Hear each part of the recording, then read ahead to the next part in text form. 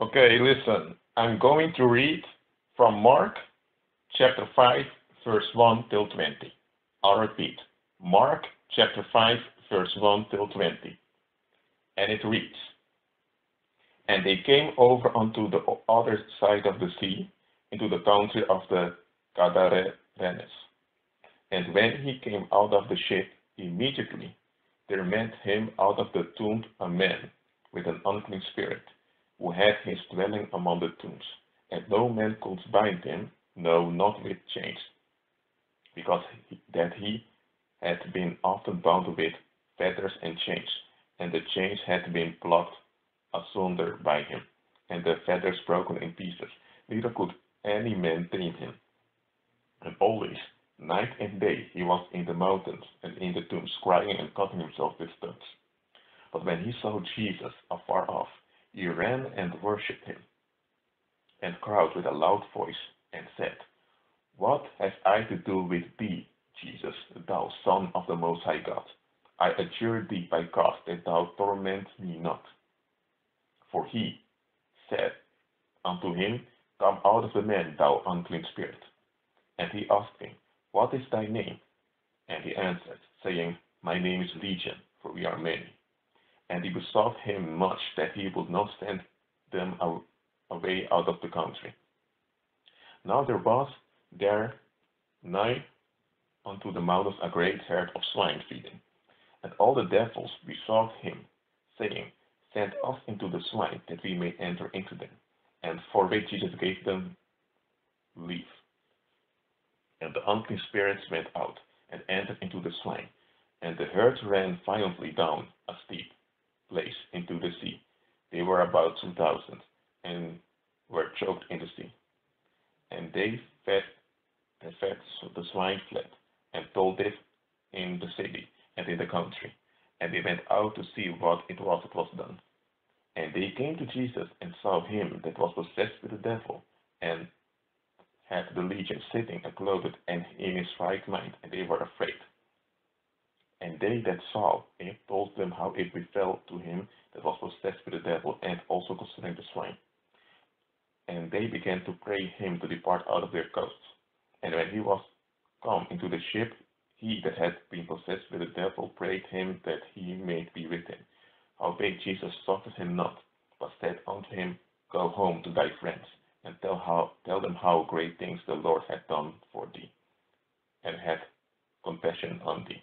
And he departed and began to publish in Decapolis how great things Jesus had done for him, and all men did marvel. Okay, this is a big piece. Now, I'm going to now I'm going to Matthew chapter 8, verse 28 till 34.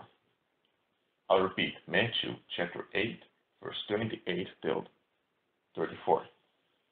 And it reads, And when he was come to the other side, into the country of the Gergesenes, there met him two possessed with devils, coming out of the tombs, exceeding fierce, so that no man might pass, pass by that way.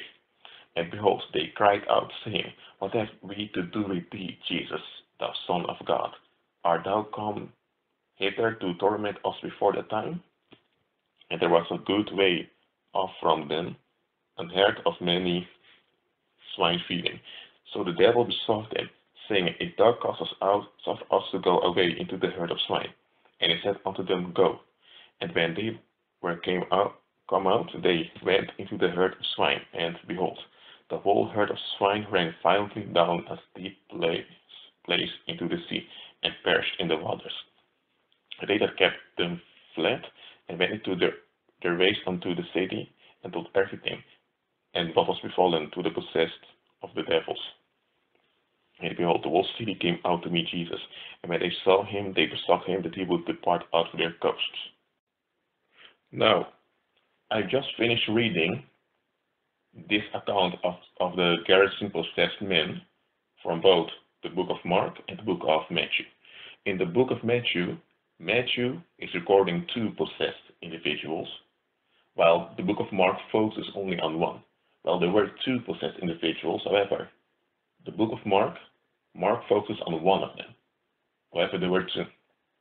But I'm not going to talk about the possessed men that much in this video about the fact that they had thousands of spirits in them because a legion is between 2,000 and 10,000 demons. So what I'm going to talk about is, you know, people often, you know, avoid solutions. They avoid improvement or no, no, let me say it better. I'm sorry.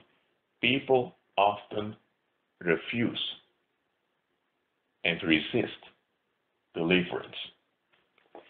Yes, humans, especially sinners, unfortunately sometimes also born again Christians do this, but generally people resist deliverance. And now just think about this. Those men that were possessed, they were heavily possessed. The, the people in that area, remember, that was under Roman rule, so the mayor and all others in that, in that area could not control these men. They were out of control and they would attack people that were on their way over there. So this was a social problem, you know, that affected the whole society over there. However, nobody had any power to do anything about it, so they would just avoid the issue. And you need to understand this. A lot of humans, a lot of people have pride. They don't want to admit when they don't have control upon something. So when they cannot control something, when they cannot, by their own strength, by their own effort, solve anything or come with a solution, they will just avoid it. They will make something taboo. Or if something is too painful to deal with, they will just make it a taboo. You just don't speak about it. They just avoid it. You know? And um, these men were of taboo. However, when Jesus when Jesus came, you know, it was quite strange because the boat landed near a cemetery. And now think about it. You know, nobody just goes to a cemetery, especially not that cemetery because there you had those two demon possessed individuals that were running like crazy, cutting themselves and everything. And people knew that you don't go in that area. You see? And that's another thing. Often in society, when there are social problems and social issues, people don't talk about it with outsiders. You see? They will keep them things unto themselves. Now, Jesus didn't need an explanation. So Jesus commanded the evil spirits to leave. Because he's God, the evil spirits knew they had to obey the demon spirits were even afraid that they even asked him if he was going to cast them into hell before the time. So the demons pleaded and and begged him to let them go into the sign, so the Lord allowed it.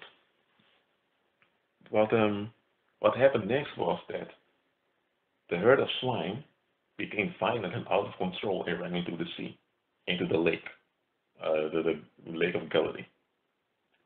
So those herdsmen who herded the swine, they went to, to the countryside and to the city and told everything that happened. And when the people of both countryside and the city came, they saw the swine, because remember they were drowning in the sea. They were there drowned in the sea, so the, the corpses, the carcasses of those swine were everywhere. And they saw the two demon-possessed men at their right mind. And it scared them when they saw that man at his right mind. But the thing interesting is they were more scared of the Lord Jesus.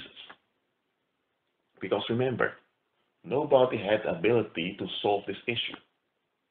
Jesus did it, and he, he, didn't even know the whole circumstance. In the people's eyes, he was just a stranger, you know. But, but now they asked Jesus to leave their territory, to leave their area. And to know why do people resist deliverance? I'll tell you why. This, this history illustrates this perfectly. Whenever there's deliverance, people will have to will have to give up their negative expectations of the one that's delivered. Okay. Some of you might think that okay, Rashid, what you're telling now is a little bit, you know, strange. It's a little bit out of abracadabra for us? Well, I'm going to give a modern day illustration, okay? The following, you know, examples I'll be giving are, are things I've made up in my mind, some scenarios, but they can apply to your real, real life circumstance. But just hear me out, okay?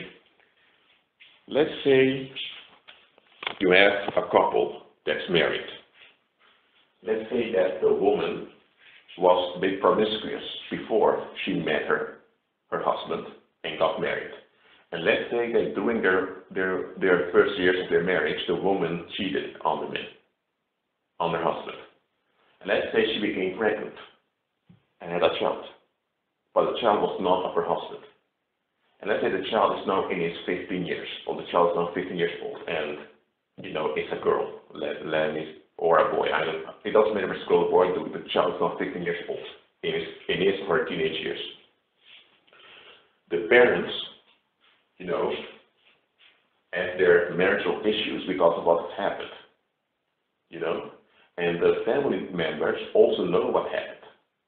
Now the child of 15 years old, a teenager, realizes that you know that, his parent, that his or her parents, you know, are of distant towards him or her. Or let me just just to make the example, if let's say it's a boy, okay, it's a 15 year old guy and he realizes that his father is quite distant towards him, and that his mother is is just you know avoidant towards him. Now the the guy who's now 15 years old you know, he doesn't know about the cheating and everything, but he realizes something is wrong. But people just don't want to talk about the promiscuous past of the wife. They don't want to talk about the fact that she cheated while she was married, you know. And they don't want to talk about that that guy, his father, is another man than he thinks that his father is. You see, the guy that's 15 years old as experienced rejection and emotional abuse due to the marital issues of his parents, so let us say his stepfather and his biological mother. The guy wants answers so they can move on with his life. Now, let's say that, you know, the guy wants to find answers. And if, if, if he wants to have answers, then he needs to know the truth. And the whole promiscuity and cheating and marital discomfort around his birth and upbringing will become will you know come, come to surface. And the guy will also realize that the people he thought was were his parents, he, that he thought he loved them, don't love him at all.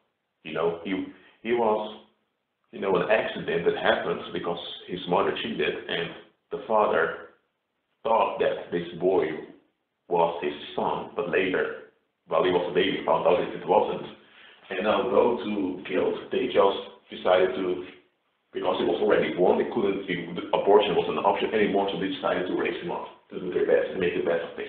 So the 15-year-old teenager finds out his parents never loved him. You see, this is going to cause a lot of trouble in the family, in the marriage, in, and in the families. Okay? And now not only his parents have to have some explanation to do, also the other family members that knew about it applied towards the, the 15-year-old teenager, you see. So there is an issue. The teenager experiences rejection and emotional abuse, and is also carrying emotional pain in his life, so the teenager is in bondage. Now, the teenager can use drugs to, uh, uh, to alleviate emotional pain for a while. The teenager can get a girlfriend, just have some sex and forget about it for a while or the teenager can do, can just do sports, okay? So the teenager can just ignore things and pretend nothing's going on, but that won't solve anything. If the teenager should be delivered, his mother's going to suffer a lot. The parent, his stepfather, we he thought was real father, going to suffer. The parents going to suffer. Also, other family members. So things might will get out of hand. But if the right thing to happen, yes, the teenager is not responsible for, for the circumstances or needs to suffer because of it. However, if the right thing should happen, those that did the evil, that did the will have to pay. So this is the same circumstance. This is not the same circumstance as with the two demon-possessed men in Gardanesis, you know, that I've read of in Matthew 8 and Mark 5. But it's a similar circumstance because if a teenager would be delivered, it would have consequences. dramatic consequences on his environment that abused him and took advantage of him. You see? And let me give another illustration, for example. Let's say that in a society, you know, you have a group of immigrants who are basically being exploited. You see? Because the people, the natives over there, just are, are a bit lazy, they don't want to work, and now you have those immigrants that they exploit the immigrants. Have also a little elite in the, in the, in the city that makes, that's becoming rich because of the abuse, because of the exploitation. If imagine that you have a guy coming by, you know, a news reporter, and he's exposing the whole thing. It goes throughout all the land, throughout international media, and now the now people from everywhere are demanding justice, and also the immigrants are demanding justice, and the immigrants that they, are be, that they will be treated right.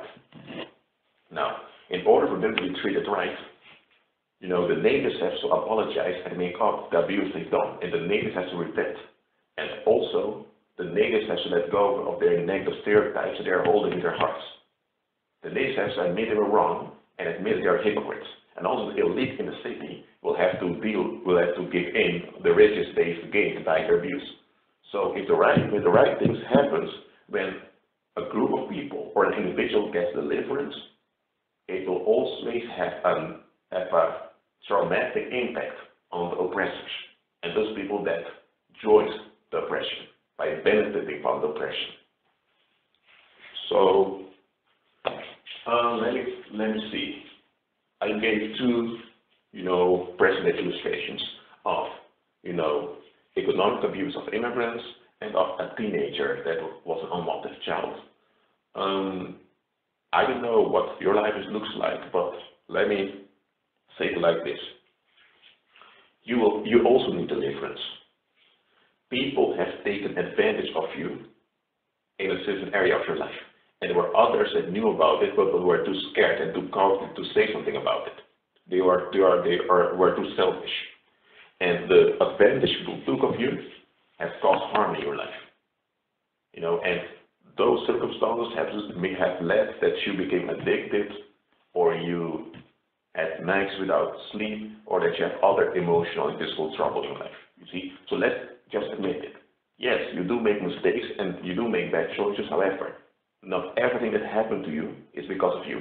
Some of the bad choices you made, you know, some of the bad decisions you made, you made them because there, was pressure on you and were, were you were in the negative circumstances of abuse and people people just took advantage of it. Okay? So people were cruel and negative towards you. Let's say the Lord Jesus comes into your life and he delivers you. He saves you and delivers you. Those demons that were around you, they will now go after those that took advantage of you, and they will hunt those people. Because that's how it works in the occult field.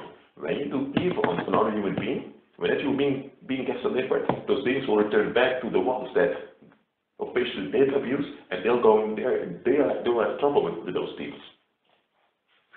So, it's interesting that the demons themselves of Jesus let us go into the swine. Now, the demons knew that those herd of swine were very important for the local economy. The demons were also aware that swine were forbidden animals under the, the Hebrew law, under the Hebrew religious law. So having a herd of swine itself was something against the local traditions. And swine were, are also wild animals that also carry diseases. So having a herd of swine is both against the moral conduct of the environment and also against the health of the public. So it's basically, uh, you know, how do I say it, a dirty job. Okay? But the people in that area were benefiting from the dirty jobs that were done in this economy. So the demons requested Jesus to let us go into the swine.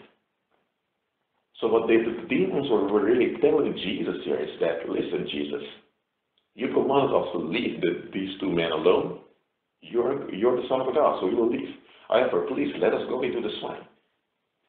These people around here, they are negative. And those people around here, they've, you know, abused these two men by using them as scapegoats. So we have all the right to be around here in this area. And so why can't you just let us stay around? We can, you know, do our thing. So the Lord Jesus allowed them to go and do that. And look what happened when the demons entered into the swines. The swines became violently and they ran into the into the lake and they fall, fell into it and they drowned. Now listen, Jesus somewhere else in Scripture also said, "Don't give what's holy to dogs, neither your pearls to swine, that they won't trample them under their feet and turn around and devour you." You see, dogs and swine, those are labels Jesus gives to people who are psychopathic and have no value at all for others and are only concerned about themselves. So what should we learn from this part of scripture also?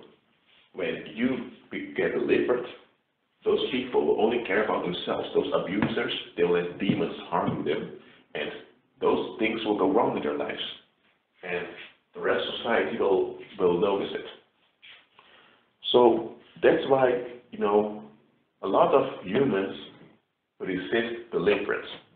Why? Because deliverance means that the issues should be taken care of. See, often people only want to deal with the symptoms. See?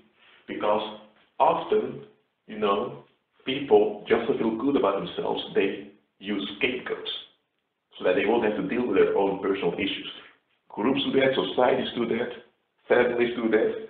They choose victims to victimize so that they can feel good about themselves. And when deliverance comes, justice will also come. There is no deliverance without justice. Okay?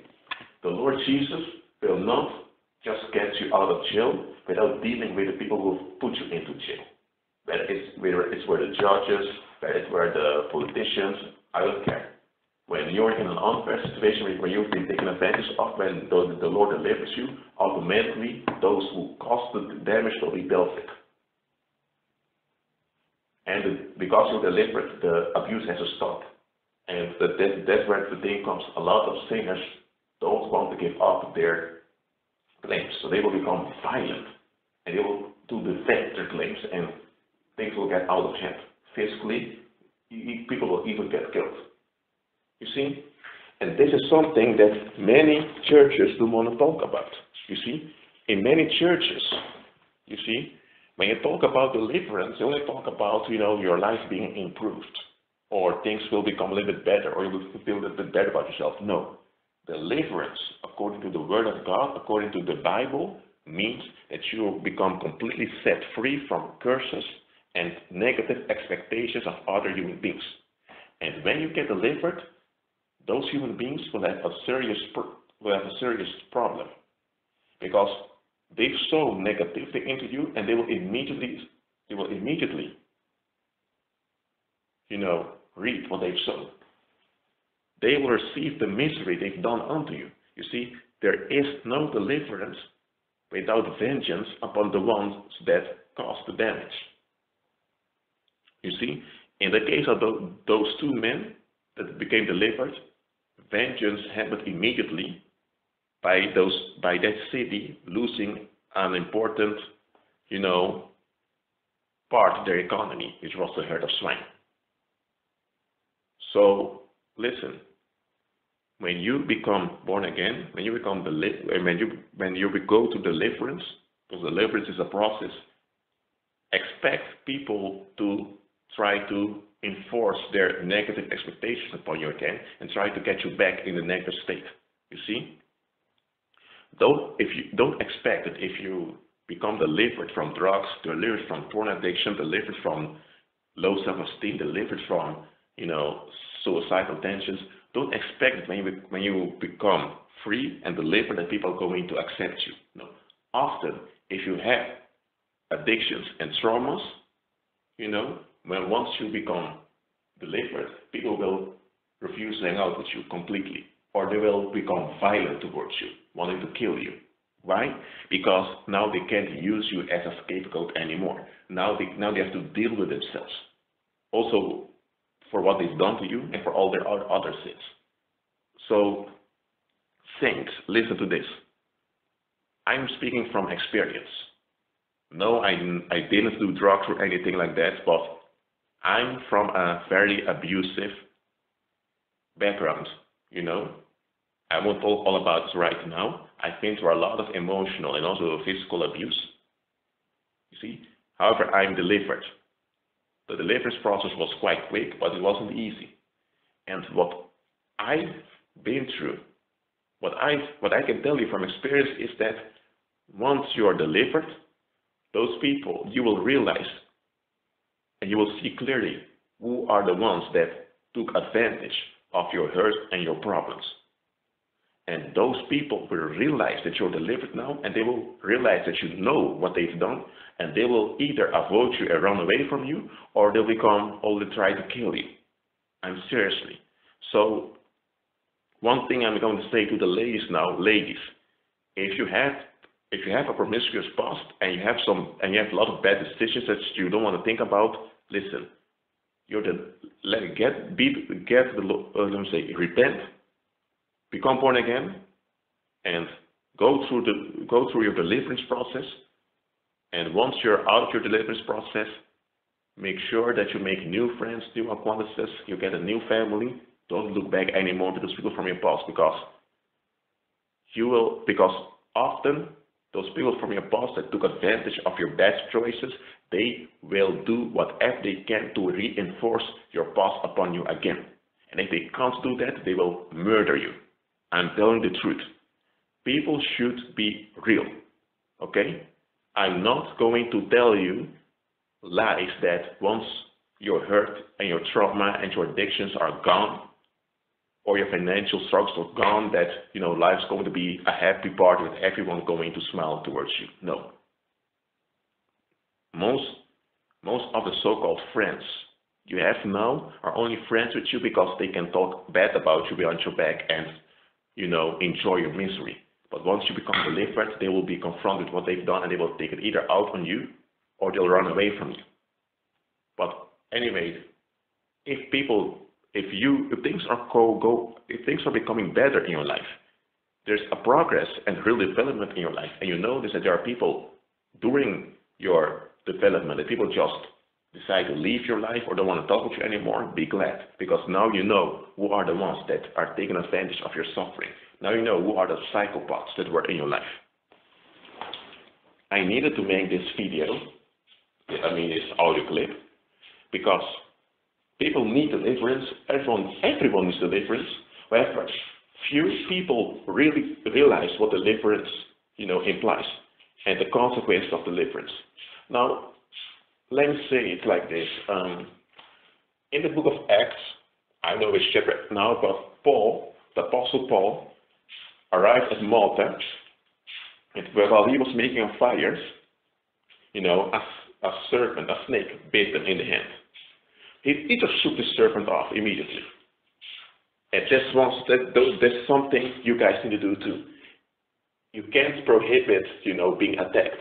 But once you're attacked, shake it off and move on. Okay? So Paul knew that he was bitten by a serpent, so he shook the serpent off and he placed his head in the fire so that the poison wouldn't spread throughout his body. Now, being bitten, often you don't realize you're bitten until the snake is, you know, on your hand. But you will feel it. However, putting his hand to the fire was more painful than the, the attack of the serpent itself, but he needed to go through the fire so that he wouldn't die. So Paul goes, mm, puts his hand to the fire, and he moves on with his life. Now the people around him, the natives of Malta, said, hmm, this guy is bitten by a serpent. He must be a murderer. The sea couldn't deal with him, but you see, he's, he has still received his justice here. He's been bitten